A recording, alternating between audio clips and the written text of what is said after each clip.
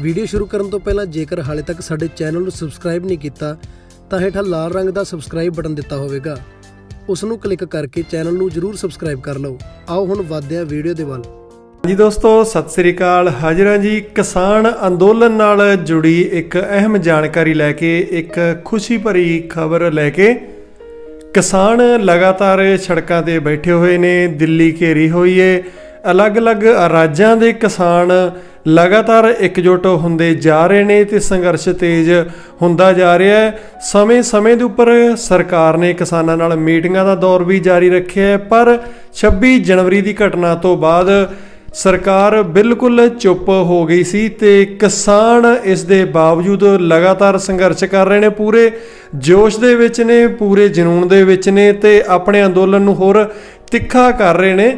ਜਿੱਥੇ ਦੇਸ਼ ਦੇ ਪ੍ਰਧਾਨ ਮੰਤਰੀ ਤੱਕ ਕਿਸਾਨਾਂ ਨੂੰ ਸਾਵਧਾਨ ਕਰ ਰਹੇ ਨੇ, ਉਹਨਾਂ ਨੂੰ ਫਸਲ ਸੰਭਾਲਣ ਤੱਕ ਦੀਆਂ ਸਲਾਹਾਂ ਦਿੱਤੀਆਂ ਜਾ ਰਹੀਆਂ ਨੇ। ਇਸ ਦੇ ਨਾਲ ਨਾਲ ਮੱਛਰ ਦੀਆਂ, ਗਰਮੀ ਭਰੇ ਮੌਸਮ ਦੀਆਂ ਗੱਲਾਂ ਕੀਤੀਆਂ ਜਾ ਰਹੀਆਂ ਨੇ। ਸਭ ਦੇ ਬਾਵਜੂਦ ਕਿਸਾਨ ਜਿੱਥੇ ਲਗਾਤਾਰ ਆਪਣੇ ਪੱਕੇ ਪ੍ਰਬੰਧ ਕਰ ਰਹੇ ਨੇ, ਟਰਾਲੇ ਤਿਆਰ ਕੀਤੇ ਜਾ ਰਹੇ ਨੇ, ਏਸੀਆਂ ਦਾ ਪ੍ਰਬੰਧ ਕੀਤਾ ਜਾ ਰਿਹਾ, ਕੂਲਰਾਂ ਦਾ ਪ੍ਰਬੰਧ ਕੀਤਾ ਜਾ ਰਿਹਾ, ਉੱਥੇ ਹੀ ਕਿਸਾਨ ਆਗੂਆਂ ਦਾ ਕਹਿਣਾ ਹੈ ਕਿ ਬੇਸ਼ੱਕ ਉਹਨਾਂ ਨੂੰ ਵੱਡੇ ਤੋਂ ਵੱਡਾ ਨੁਕਸਾਨ ਕਿਉਂ ਨਾ ਝੱਲਣਾ ਪੈ ਜਾਵੇ, ਪਰ ਉਹ ਇਸ ਕਿਸਾਨ ਅੰਦੋਲਨ ਨੂੰ ਬਿਲਕੁਲ ਵੀ ਠੰਡਾ ਨਹੀਂ ਹੋਣ ਦੇਣਗੇ, ਇਸ ਸੰਘਰਸ਼ ਨੂੰ ਤੇਜ਼ ਕਰਨਗੇ, ਜਿਵੇਂ ਦਾ ਮਰਜ਼ੀ ਨੁਕਸਾਨ ਹੋਵੇ।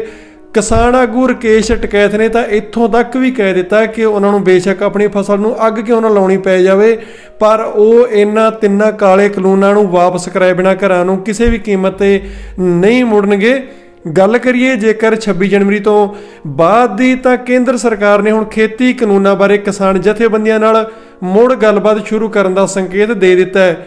ਪੰਜਾਬ ਦੇ ਚੋਣ ਨਤੀਜਿਆਂ ਤੇ ਦੇਸ਼ ਵਿਆਪੀ ਹੋ ਰਹੇ ਕਿਸਾਨ ਅੰਦੋਲਨ ਨੂੰ ਵੇਖਦਿਆਂ ਸਰਕਾਰ ਕੁਝ ਨਰਮ ਪੈ ਚੁੱਕੀ ਹੈ। ਬੀਜੇਪੀ ਲੀਡਰਾਂ ਅੰਦਰ ਵੀ ਹਲਚਲ ਹੈ ਕਿ ਜੇਕਰ ਇਹ ਅੰਦੋਲਨ ਲੰਬਾ ਚੱਲ ਗਿਆ, ਤਾਂ ਕਈ ਸੂਬਿਆਂ ਵਿੱਚ ਪਾਰਟੀ ਨੂੰ ਵੱਡਾ ਨੁਕਸਾਨ ਹੋ ਜਾਣਾ ਹੈ। ਇਸ ਲਈ ਕੇਂਦਰੀ ਖੇਤੀ ਮੰਤਰੀ ਨਰਿੰਦਰ ਸਿੰਘ ਤੋਮਰ ਹੁਣਾਂ ਨੇ ਆਖਿਆ ਕਿ ਸਰਕਾਰ ਤਿੰਨੇ ਖੇਤੀ ਕਾਨੂੰਨਾਂ ਦਾ ਵਿਰੋਧ ਕਰ ਰਹੇ ਕਿਸਾਨਾਂ ਨਾਲ।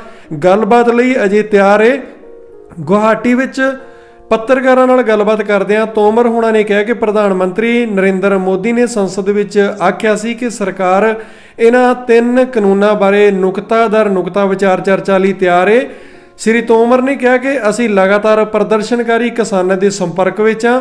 ਭਾਰਤ ਸਰਕਾਰ ਨੁਕਤਾ ਦਰ ਨੁਕਤਾ ਕਾਨੂੰਨਾਂ ਤੇ ਚਰਚਾ ਵਾਸਤੇ ਤਿਆਰ ਹੈ ਬੇਸ਼ੱਕ ਖੇਤੀ ਮੰਤਰੀ ਤਿੰਨੇ ਕਾਨੂੰਨਾਂ ਉੱਪਰ ਨੁਕਤਾਦਰ ਨੁਕਤਾ ਗੱਲ ਕਰਨ ਲਈ ਆਖ ਰਹੇ ਨੇ, ਪਰ ਕਿਸਾਨਾਂ ਨੇ ਇਧਰੋਂ ਸਪਸ਼ਟ ਕਰ ਦਿੱਤਾ ਹੈ ਕਿ ਕਾਨੂੰਨ ਰੱਦ ਕਰਨ ਤੋਂ ਬਗੈਰ ਅੰਦੋਲਨ ਵਾਪਸ ਨਹੀਂ ਲੈਣਗੇ।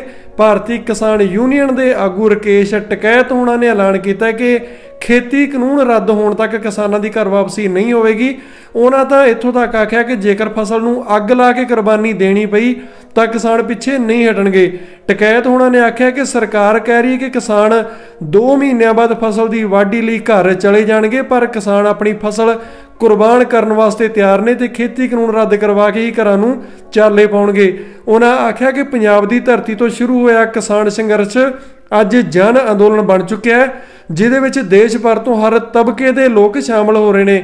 ਤੇ ਕਿਸਾਨ ਵੀਰੋ ਚੱਲਦੇ ਚਲਦੇ ਇੱਕ ਹੋਰ ਦੱਸ ਦਈਏ ਕਿ ਜੇਕਰ ਤੁਹਾਡੀ ਕਣਕ ਦੀ ਫਸਲ ਫੁੱਲਾਂ ਦੇ ਉੱਪਰ, ਇਹ ਸਫੈਦ ਰੰਗ ਦੇ ਬੱਲੀਆਂ ਦੇ ਉੱਪਰ ਫੁੱਲ ਆਏ ਹੋਏ ਨੇ, ਤਾਂ ਇਹਨਾਂ 5-4 ਦਿਨਾਂ ਦੇ ਵਿੱਚ ਕਿਸੇ ਵੀ ਕਿਸਮ ਦੀ ਸਪਰੇਅ ਕਰਨ ਤੋਂ ਸੰਕੋਚ ਕਰੋ। ਫੁੱਲ ਪੈਣ ਤੋਂ ਪਹਿਲਾਂ ਸਪਰੇਅ ਕਰ ਲਈ ਜਾਵੇ, ਜਾਂ ਫਿਰ ਜਦੋਂ ਫੁੱਲ ਪੂਰੀ ਤਰ੍ਹਾਂ ਬਣ ਜਾਣ ਤੇ ਸੁੱਕਣ ਲੱਗਣ ਮਾਮੂਲੀ ਜੇ, ਉਸ ਵਕਤ ਆਪਾਂ ਸਪਰੇਅ ਕਰੀਏ, ਕਿਉਂਕਿ ਫੁੱਲ ਆਏ ਤੋਂ ਬੂਰ, ਆਏ ਤੋਂ ਪਰਪਰਾਗਣ ਦੀ ਕਿਰਿਆ ਚੱਲ ਰਹੀ ਹੁੰਦੀ ਏ, ਜਿਸ ਦੇ ਵਿੱਚ ਵਿਗਣ ਪਾਉਣ ਕਾਰਨ ਆਪਣਾ ਫਸਲ ਦਾ ਝਾੜ ਘਟ ਸਕਦਾ ਹੈ ਤੇ ਆਖਰੀ ਪਾਣੀ ਹਰ ਹਾਲਤ ਦੇ ਵਿੱਚ ਦੇਸੀ ਮਹੀਨੇ ਚੇਤਰ ਦੇ ਪਹਿਲੇ ਹਫ਼ਤੇ ਤੱਕ ਵੱਧ ਤੋਂ ਵੱਧ ਆਪਾਂ ਨੂੰ ਲਾ ਦੇਣਾ ਚਾਹੀਦਾ। ਉਸ ਤੋਂ ਬਾਅਦ ਚ ਅਗੇਤੀਆਂ ਬੀਜੀਆਂ ਕਣਕਾਂ ਨੂੰ ਸਹੀ ਸਮੇਂ ਤੇ ਬੀਜੀਆਂ ਕਣਕ ਦੀਆਂ ਫਸਲਾਂ ਨੂੰ ਪਾਣੀ ਨਹੀਂ ਲਾਉਣਾ ਚਾਹੀਦਾ ਕਿਉਂਕਿ ਉਹਨਾਂ ਦਿਨਾਂ ਦੇ ਵਿੱਚ ਤੇਜ਼ ਹਵਾ ਨਾਲ ਫਸਲ ਡਿੱਗ ਜਾਂਦੀ ਤੇ ਕਈ ਵਾਰੀ ਬਹੁਤ ਵਧੀਆ ਫਸਲ ਵੀ ਇਸ ਦੇ ਬਾਵਜੂਦ, ਮਿਹਨਤ ਦੇ ਬਾਵਜੂਦ ਵੀ ਖਰਾਬ ਹੋ ਜਾਂਦੀ ਹੈ, ਝਾੜ ਘਟ ਜਾਂਦਾ। ਸੋ ਕਿਸਾਨ ਵੀਰੋ, ਦਿਓ ਯਾਦ ਤੇ ਮਿਲਦੇ ਆ ਨਵੀਂ ਗੱਲਬਾਤ ਨਾਲ। ਫੇਰ ਸਤਿ ਸ੍ਰੀ ਅਕਾਲ।